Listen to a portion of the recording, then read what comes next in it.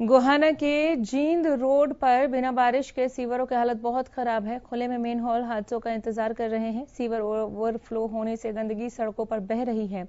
मुख्य मार्ग पर स्कूली बच्चे और बुज़ुर्ग गंदे पानी की छींटों से बचने के लिए दुकानों की सीढ़ियों से होकर गुजरने को मजबूर हैं। वहीं स्थानीय लोगों और दुकानदारों का कहना है कि सीवर पिछले दो महीने से जाम पड़े हुए हैं।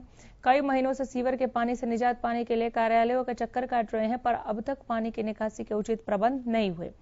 आपको बता दें कि महज 200 मीटर की दूरी पर जन स्वास्थ्य विभाग का कार्यालय है। कर्मचारियों से लेकर प्रशासन तक कोई भी सुध नहीं ले रहा।